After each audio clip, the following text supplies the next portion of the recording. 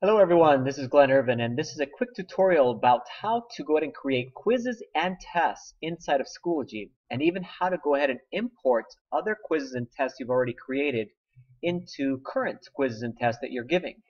So the first thing you're going to need to do is you're going to have to go to your materials section here and then we're going to click on add materials. We'll drop down to add test or quiz. So I'll go ahead and do that. And we have several options we need to fill in here. I'm just going to put example exam. It's going to be my example test here. I'm going to, I can give it a due date, though I'm not going to do that right now. I can change the point value of the test here.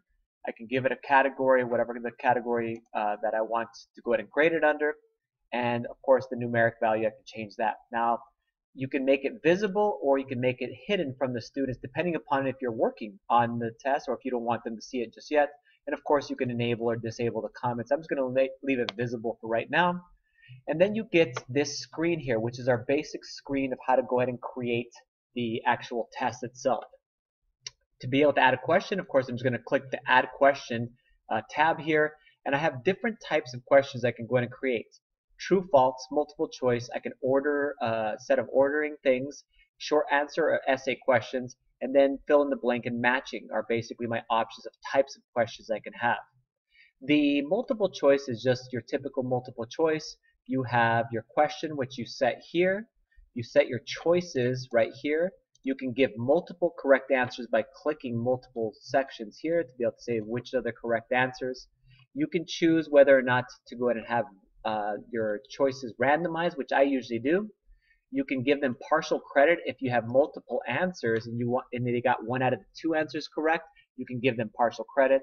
You can put the number of points that the question is valued at. You can even time the question. How much time do they have to answer the specific question itself?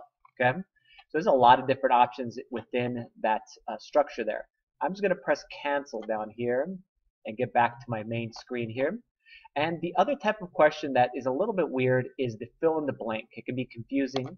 Um, and basically the way the fill in the blank works is you only need to put one underscore, as it says up here, in kind of really light coloring. Let me do an example here. Um, I'm going to say uh, team, the football team from Minnesota.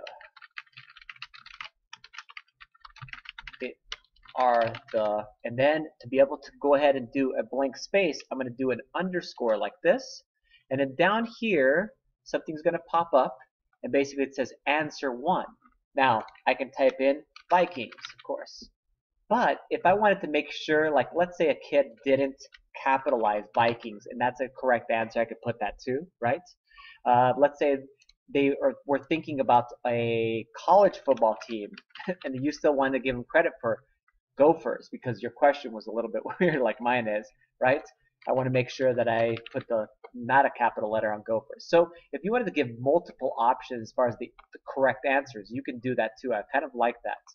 But remember, you only need one little underscore to be able to go ahead and do that. Don't put more than one because then it gives you various answers there.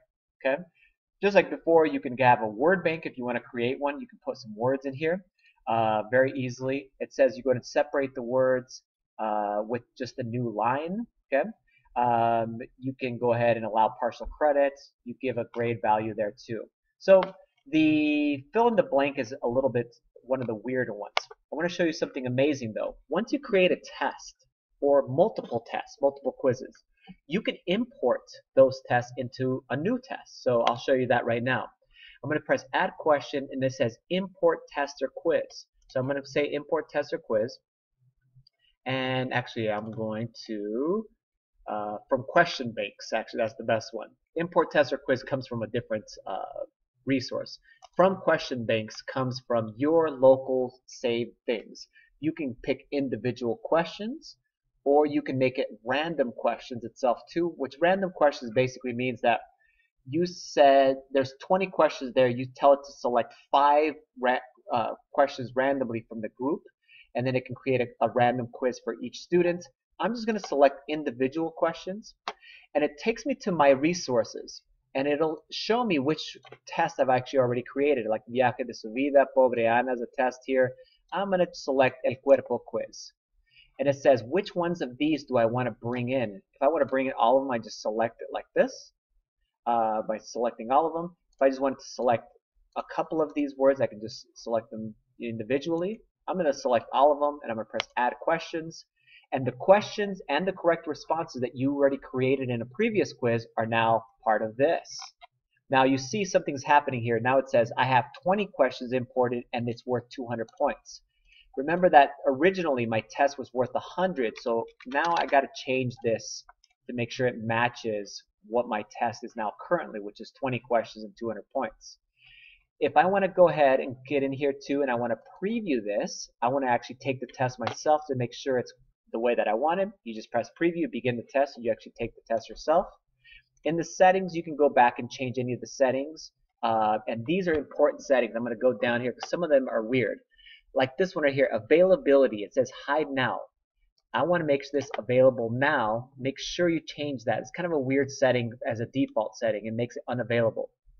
If you want a time limit, you press yes. How much? How many minutes to take the whole quiz? Okay. Uh, how many times do you want to allow a student to do it? I know teachers that do it three times. I have some quizzes that I do as formative assessments. I let them do it unlimited amount of times. You could tell it to grade it by the highest score or the average or just the last score that they received. Okay, it's pretty cool stuff. You can make them randomize the questions so that each student, if you were doing uh, a test all at once at the same time, each student gets a different question number one. Um, things like language keyboard for my class would be important because you put the Spanish language keyboard there. Uh, can the students review their questions before submitting? It's a great one. I always say yes. So at the end, before it says finish, they can go back and look at all of their answers and make sure they did it correctly. This is important too. If you have Wi-Fi that comes in and out, what if in the middle of a test your Wi-Fi kind of you know fizzles out, especially on an iPad? You want them to be able to resume that test. So it's kind of saving as it goes along. I put resumable on all the time. Uh, and then, of course, at the end, do you want them to go ahead and view the submissions? Okay. Do you want them to go ahead and be able to see um, whether or not you know they got which ones they got right, which ones they got wrong? You select this thing and you say yes or yes, even with the correct answers you can select. Okay. Then, of course, you press Save Changes and you're going to be done there too. I'll go back to questions. So anyway, um, this is pretty simple to go ahead and use. I just want to make sure then here, once I'm ready to go ahead and have it ready to go, I'm going to make this available. Right now it says unpublished, unavailable. I'm going to make it available now and save. And then up here it says available. The students can actually see it. If this is not available, it, the students won't be able to see it. They won't be able to go ahead and uh, uh, answer any of the questions there. Cool. So that's a quick uh, review of how to go ahead and create tests and quizzes it's super awesome on Schoology, um, especially the import function, moving tests from formative assessments and even to make it one big summative assessment. Once you create the questions, you can go ahead and keep reusing them um, in your class. Cool, that's all I got. Bye-bye.